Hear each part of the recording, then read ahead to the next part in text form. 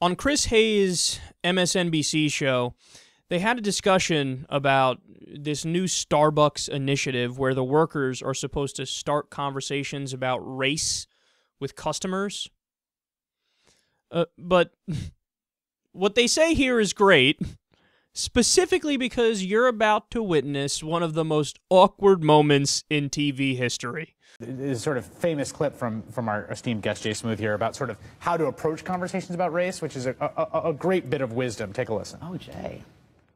When somebody picks my pocket, I'm not going to be chasing him down so I can figure out whether he feels like he's a thief deep down in his heart. I'm going to be chasing him down so I can get my wallet back. I don't care what he is, but I need to hold him accountable for what he did. And that's how we need to approach these conversations about race. Treat them like they took your wallet and focus on the part that matters, holding each person accountable for the impact of their words and actions. I don't disagree. And this and this gets to something that the, the point you're making there, which is that when we have when we talk about conversations about race, rather than saying uh, you are a racist Oh, or you please. like just focus on individual things that happen, right? Like Right. The, the, the, I thought you know what actually was a model of this.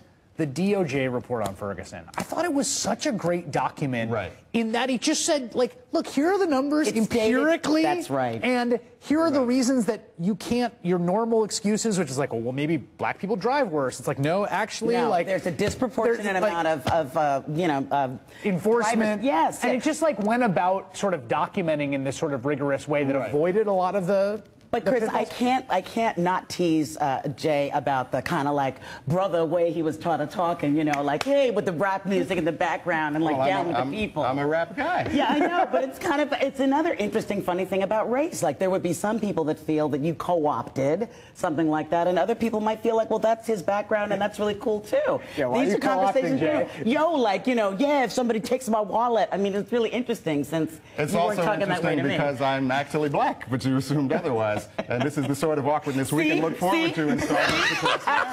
Absolutely, absolutely, absolutely.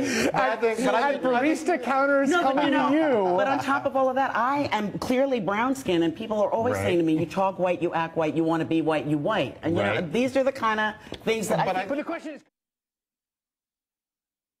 That was so awkward. I like how she tried to save it at the end. She's like, no, see these are the good conversations to have because people say to me, like, oh, you act white, you seem white. blah, blah, blah, blah." Stop, stop, stop. okay, in her defense, though, seriously. What? Everybody who looks at that guy th- thinks he's black? He doesn't look. I didn't know who he was, and he didn't look that way. Okay? He doesn't look like he's black. So I guess I'm with her, but either way, that was a really, really awkward moment because she kept going with it. She's like, you know, the way you were talking, it was all hip hop and like brother, brother, and and some people would say you're co-opting something that's not part of your race. Oh, oh, oh, oh, stop it! Stop talking. I'll just stop talking, please. So, look, to get to the bigger issue here, which is the Starbucks policy of having uh, workers there discuss race with customers, I guess is what it is. I think it's stupid. I do. Now I know they they they mean well by it, so I'm not angry at them for intent. Intent, it, it- they get a pass on that because they don't mean anything bad by it. But it's just goofy, and it's goofy because it's not organic. Like people always say, "Oh, we need to have a conversation about race. We need to have a conversation about race. We need to have a conversation about race." But that doesn't mean like force people into an awkward, uh, fake conversation